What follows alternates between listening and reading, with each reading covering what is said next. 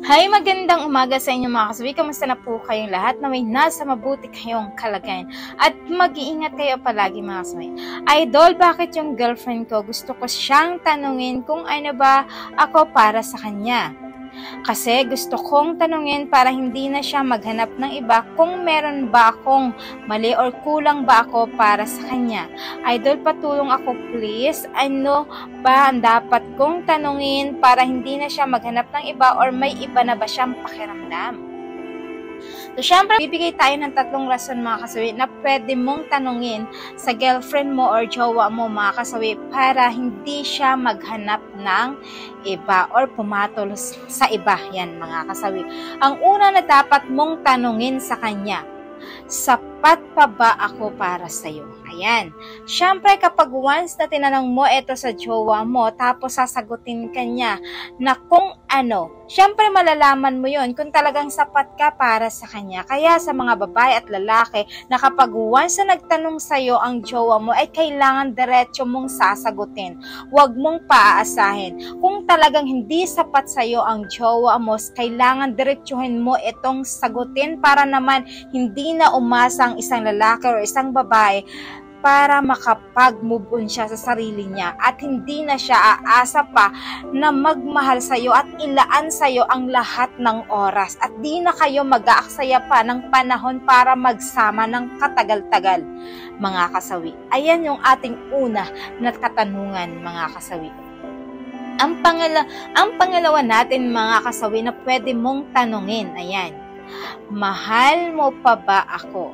So, ibig sabihin, kapag tinanong mo ang words na ito at hindi ka masagot kaagad ng diretsyo, so, ibig sabihin, may pakiramdam na maaaring hindi ka na mahal ng isang tao kasi kapag once na mahal ka ng isang tao ay didiretsuhin ka nito, yes, oo, mahal na mahal kita.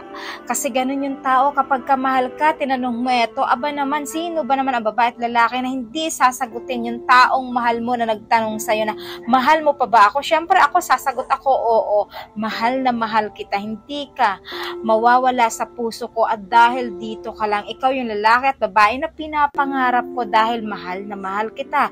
Ganyan yung mga sagutan ng mga lalaki at babae kapag ka once na tinanong mo kung talagang mahal ka pa niya, mga kasawi. Ayan yung ating pangalawa na rason. Ang pangatlo na rason mga kasawi, ito ang pinaka-importante sa lahat kailangan may mali ba ako na nagagawa sa iyo? Ayan. Kapag once na meron kang mali na ginawa, kailangan sabihin ng isang tao para sa iyo na diretso, yes, meron kang ginagawang mali kailangan baguhin mo ito. Kailangan eto ka. Kailangan gawin mo to para maging matagal ang isang relasyon natin. Para naman hindi ako pumatol sa iba. Kasi kapag once na hindi mo masabi sa isang lalaki na isang babae na meron siyang pagkakamali at eto'y kinimkim mo lang. Alam mo, napakasama ito dahil magiging bias ka, magiging unfair ka kasi nga sa sarili mo, hindi mo masabi sa kanya ng diretsyo na instead na dapat sabihin mo para naman malaman niya na clear para sa kanya na talagang babaguhin niya ang sarili niya para maging buo ang inyong pagsasama at para naman masabi mo sa sarili mo na hindi ka mangiiwan sa kanya. Huwag mong kikimkimin sa sarili mo yung mga katagang yan. Dapat sabihin mo maging open-minded kayo, magiging open kayo sa isa't isa para naman maging awareness kayo sa isa't isa mga kasawi. ba? Diba? Yan lang po yung ating pangatlo. Siyempre sa ating sender, lagi nyo tatatandaan. Napaka-importante sa isang relasyon ang magkaroon ng komunikasyon sa isa't isa. At kung nag-aaway man kayo, napaka-importante sa isa't isa na huwag nyong pahahabain ang pag-aaway nyo. Huwag kayong magkapakot nagpapakomport sa ibang tao kasi minsan yung nagpapakomport ay mas lalong pinapalala ang sitwasyon instead na kapag kayong dalawa ang nag-ayos, alam nyo ba, napakadali ito. Hindi na ito hahaba. Huwag yung pahihirapan ang sarili nyo. Lalo kapag kamahal nyo ang isa't isa, mga kasawi. Normal na nagkakatampuhan sa isang relasyon normal yon Kasi pangit, pangit naman na hindi kayo nag-aaway sa isang relasyon, di ba? Pinapatatag nga kayo ng away ninyo. Basta end of the day, kahit na nag-aaway kayo, ay mahal nyo pa rin ang isa't isa pagkatapos ng away nyo. Yan yung pinaka-importante sa magkupol.